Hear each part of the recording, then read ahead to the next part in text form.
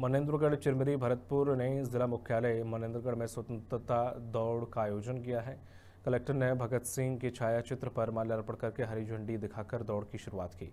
इसमें सभी स्कूलों के छात्र छात्राओं के साथ ज़िले के अधिकारी और जनप्रतिनिधियों ने भी दौड़ लगाई और छात्र छात्राओं को मतदान जागरूकता की शपथ दिलाई गई।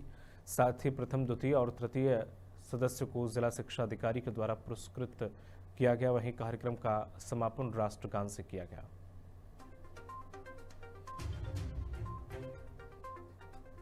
स्वतंत्रता दिवस के पूर्व दिवस आज आज़ादी की दौड़ सद्भावना दौड़ आयोजित की गई जिसमें नगर के गणमान्य नागरिक और बच्चे और सभी शासकीय लोग शामिल हुए। बच्चों में काफ़ी उत्साह दिया गया। इसका उद्देश्य ये कि आज़ादी की जो गरिमा है शान है उसको बनाए रखने के लिए दौड़ आयोजित किया जाता है जिससे पूरा भारत देश हमेशा दौड़ते रहे छत्तीसगढ़।